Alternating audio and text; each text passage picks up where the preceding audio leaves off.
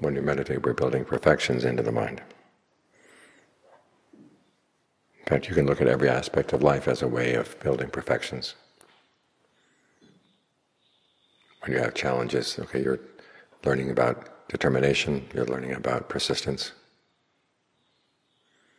When you're dealing with other people, you have to, again, deal with endurance, goodwill, equanimity. You're putting forth energy of the mind, energy of the body, and you're getting something good in return. So always have that perspective that when you're working on something, it's not just a waste of energy. If your attitude is wrong, it is a waste of energy. But if your attitude is right, that you're actually developing good things in the mind, things that you can take with you, things that will help in your meditation, help in your practice at large, then heavy tasks become a lot lighter. And it's a lot easier to find a sense of satisfaction in what you're doing. So look at every activity around here in the monastery as an opportunity to develop perfections. We're not just here to sit with our eyes closed.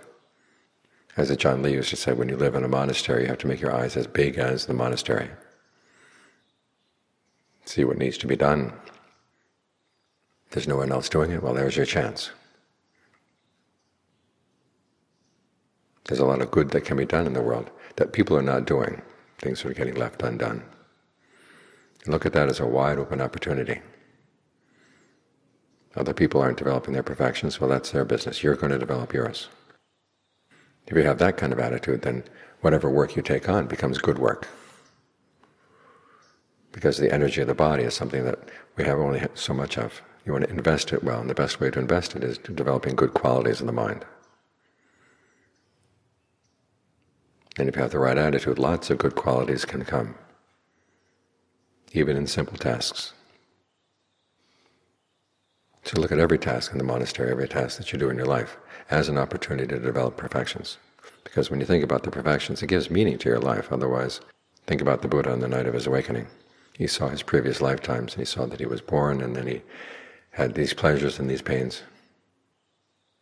He ate this kind of food, and then he died. That's just it. Birth, pleasure, pain, food, death. Not much. And apparently he reflected further and he saw that he wasn't just eating and eating and having pleasure and pains and dying. He was also trying to develop something good in his mind.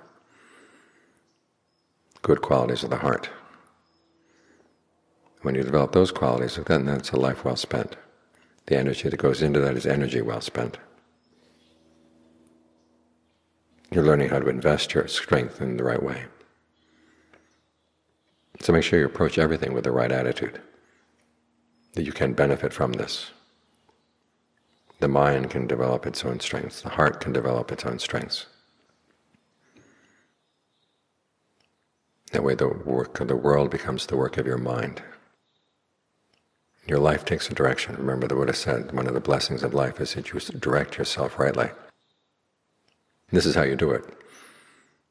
Instead of amassing wealth, you amass inner wealth.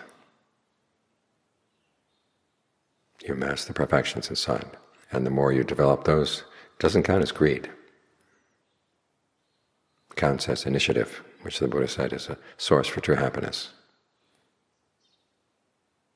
So always keep that right attitude in mind. Heavy work becomes light, light work becomes almost weightless. Because the mind is growing in strength. The heart is growing in strength.